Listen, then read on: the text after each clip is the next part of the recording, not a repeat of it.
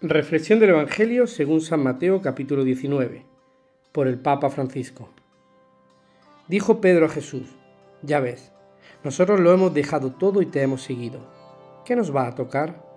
Jesús les dijo, en verdad os digo, cuando llegue la renovación y el Hijo del Hombre se siente en el trono de su gloria, también vosotros los que me habéis seguido os sentaréis en doce tronos para juzgar a las doce tribus de Israel.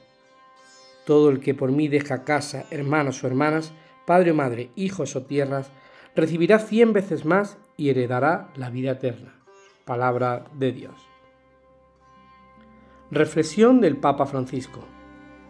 Seguir a Jesús desde el punto de vista humano no es un buen negocio, es servir, lo ha hecho Él. Y si el Señor te da la posibilidad de ser el primero, tú tienes que comportarte como el último, o sea, servir. Y si el Señor te da la posibilidad de tener bienes, tú debes emplearte en servir a los otros.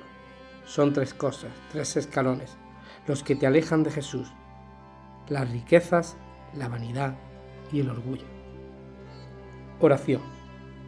Señor, nos animas a rechazar la vanagloria humana y a cambio nos ofreces la gloria divina, la que se goza viviendo humildemente tu reino de amor. Jesús, yo te alabo y te bendigo por haberme llamado a seguir tu camino. Bendigo al Señor en todo momento. Salmo 33.